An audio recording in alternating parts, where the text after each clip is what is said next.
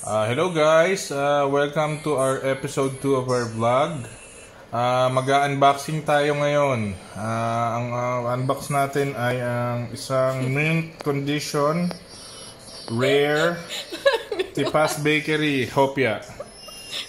Ayusin mo yung ayusin mo yung Ayan, ayan ho. Bagong bago ho. Ayan. Product of the Philippines. So legit po ito, legit po. Hindi ho ito imitation. Ayan. Ah, sa West Zone, ah 1495 siya.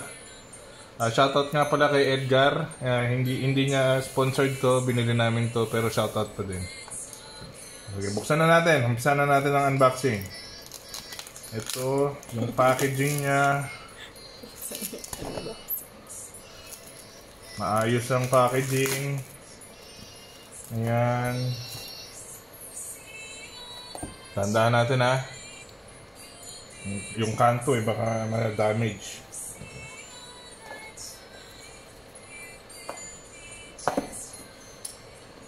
Ganun talaga pag ano, oh, bago. Hirap buksan. Teka. Naririnig ka sa vlog natin, mukhang... Yan. Yan na ho, yan na ho. Ayan, malapit na. Ayan.